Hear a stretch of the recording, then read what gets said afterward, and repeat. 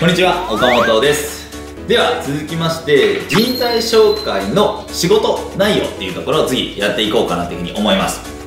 人材紹介ならではの仕事みたいなところで挙げるとすると大きく2つありまして CA と RA この2つになります。これって何なのっていうと CA はキャリアアドバイザ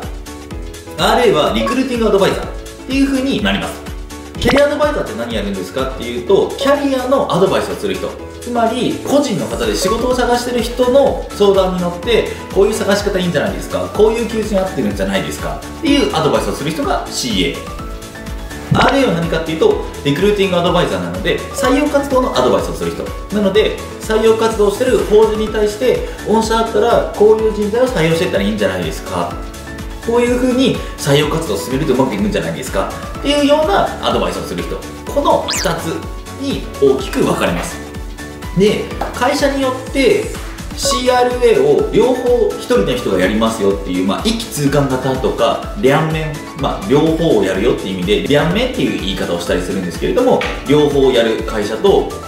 CA と RA 分業型って言って CA は CA だけやって RA は RA だけをやるっていうそういう分かれ方をしている会社もあります。で自分がどこに入ろうかなっていう時に、まあ、どんな仕事をやりたいのかみたいなところで一気通貫がいいなとか分業がいいなとかっていうふうに選んでいくと良いかなっていうふうに思うんですけれどもぶっちゃけまあどちらに行ってもそんなに変わりはないかなと思います。最初やるのは基本的には RA が中心になるんですよ。なぜかっていうと仕事を自分がそんなにしたことがないこれから初めて人材紹介行くぞっていう人がそのキャリアについてすごいアドバイスできるかっていうとあんまりできなかったりするんですよ。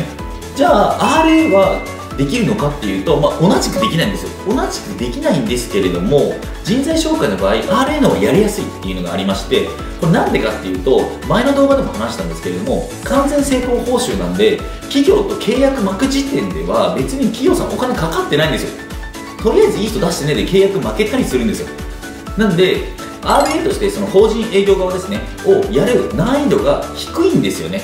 もちろん深掘りして実際にお客さんに価値を提供するというところまで行くのはすごく難しい部分はあるんですけれどもまず契約締結して社内にこういう求人あるんで CA さんお願いしますいい人出してくださいっていうところまではスキルが低い状態でもどうにかやりやすかったりするんで最初は RA から経験積んでこんな仕事があるんだなとかこの仕事だったらこういう人が内定出て入社して活躍するんだなっていう経験を貯めた後に CA 側にキャリアチェンジしていくというか広げていくっていうパターンが両面やる会社でも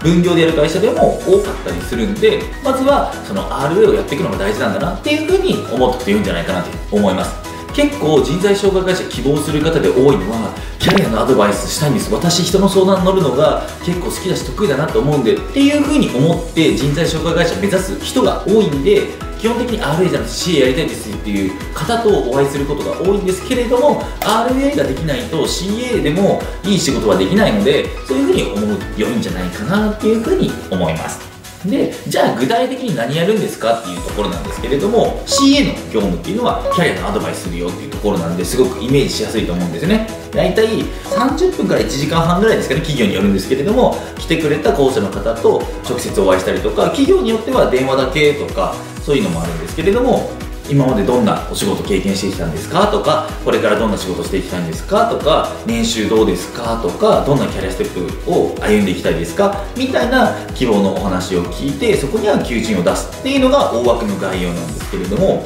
それだけではもちろんなくて結構重要な部分ってどういうところになるかっていうとその候補者の方がこういうところで働きたいっていうまず希望があるんですよね。でこの希望とこの経験だったりスキルのあるこの人だったらこの求人の範囲からだったら内定が出るかもしれないっていうこう2つの縁があるんですよ。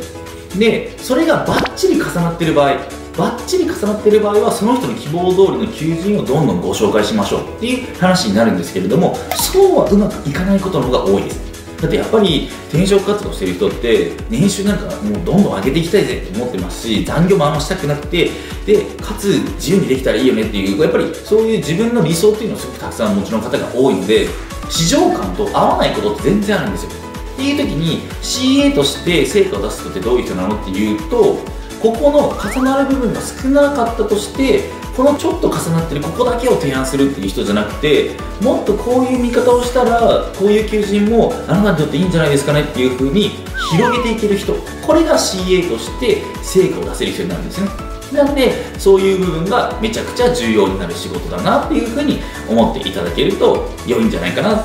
また仕事をしてからギャップが生まれづらいんじゃないかなっていう風に思います。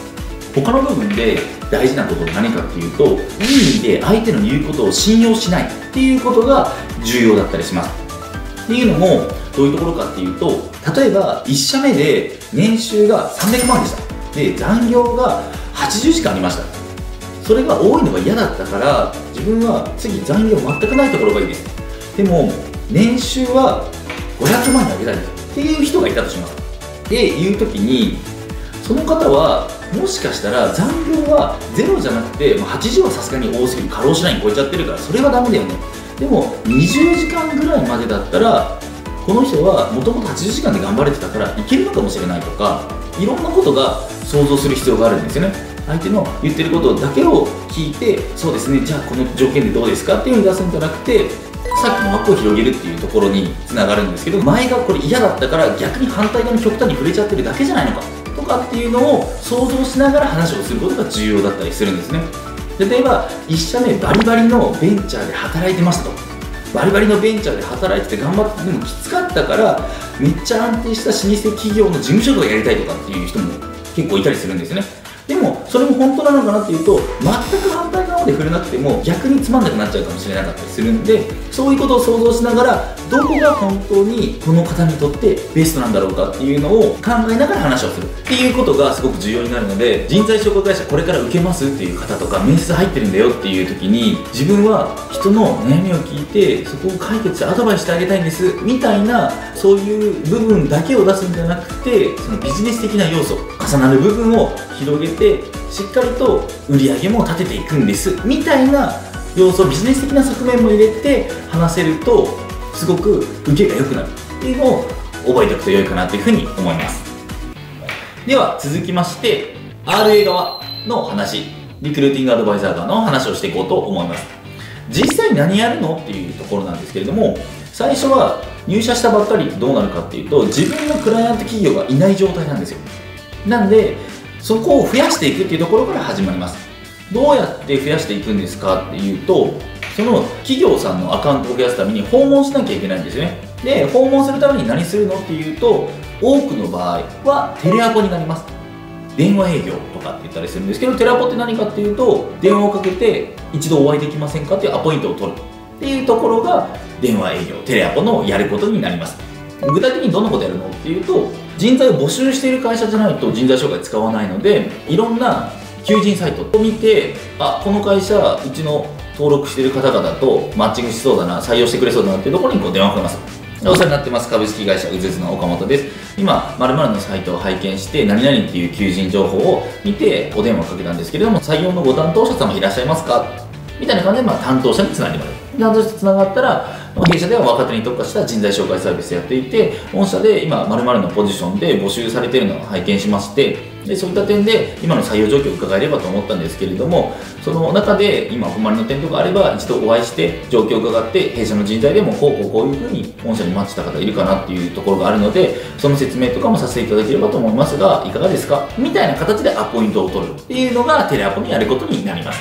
で結構テレアポを嫌がる方が多いんですよね。そのプッシュでアプローチするのが嫌だなみたいな押し入りが嫌だなみたいな方とかってすごく多かったりするんですけれども人材紹介のテレアポって比較的取りやすいんですよどれぐらい取れるかっていうと大体23%ぐらい。100件かけたら2件か3件ぐらいアポイントが入るくらいは取れたりします。なんで取りやすいのっていうと成功報酬だからです。